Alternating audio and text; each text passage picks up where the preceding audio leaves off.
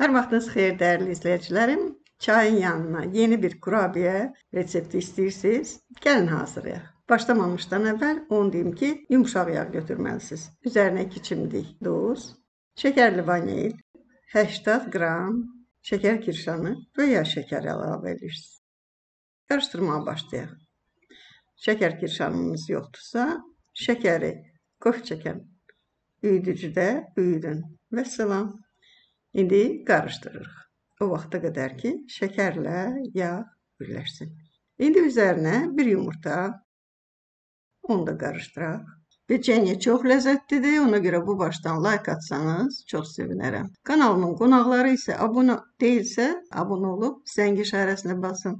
Sizin də şirniyyat və ya diyet yeməklərinin reseptləriniz ola bilər. Bu cürə alınacaq nəticədə və üzərinə bitki yağı əlavə edirik. Bitki yağımız da 50 və ya 60 ml ola bilər. Keyfiyyətli bitki yağı götürün. Qarışdırdıq.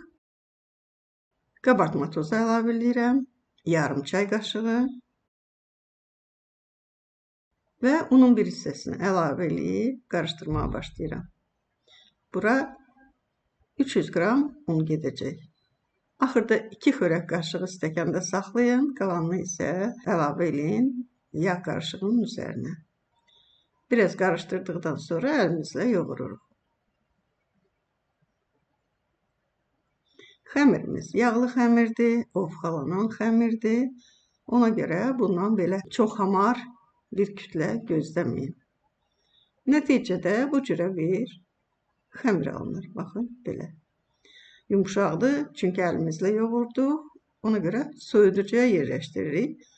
Soyuducuda bir 15-20 dəqiqə qalsa kifayət. Perqament kağızı götürürük. Xəmirimizi iki hissəyə bölək və kağızın üstündə yayaq. Asan olması üçün üzərinə bir paket sərirəm və baxın Xəmir yetərincə yumşaqdır və tez gəlir. Xəmiri yaydıq. Baxın, qaldırıram. Heç bir e, iz yoxdur. İndi bunun üzərində velvet şəkli vermək istəyirəm. Yəni cızıq-cızıq olsun. E, görüntüsü daha gözəl olsun. Onun üçün üzərinə nişasta səpirəm. Bu qarğıdalı nişastası da ola bilər, kartof nişastası da ola bilər. Asan olmaq üçün bambuq çöplərindən hazırlanmış servislər var. Onun üstünə qoyub belə bərk üstündən basa bilərsiniz. Lakin onda izi çox zəif olur. Çəngəl götürüb elə paketin üzərindən belə cızıqlar çəksəniz, cızıqlara daha dərin, daha maraqlı olur. İndi isə istədiyiniz formanı götürüb kəsə bilərsiniz. Dediyim kimi çəngəllə üstündən keçəndə mütləq altında salafan paket olsun. Formanı götürüb kəsirəm.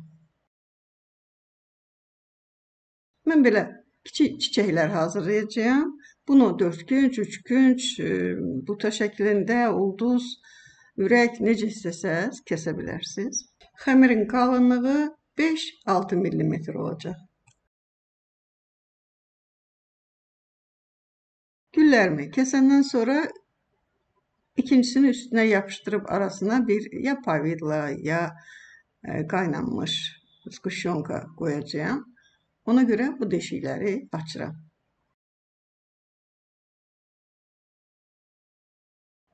Rahat olmaq üçün şprisin başını kəsirsiniz və bu cürə baxın. Çıxmayanlar da çöpə çıxarda bilərik.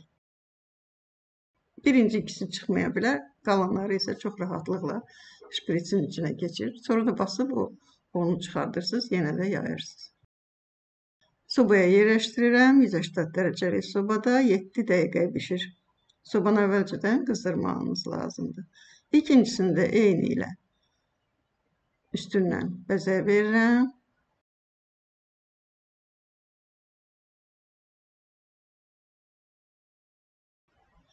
Və 180 dərəcəli sobaya 7 dəqiqə, 7-8 dəqiqə bişirməyə qoyuram.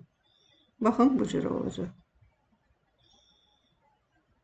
İndi sizə arasına sürtmək üçün ya pavidla, ya da ki sizin seçdiyiniz bir mürəbbə də ola bilər, Squşyonka da ola bilər. Arasını bu cürə doldururuq.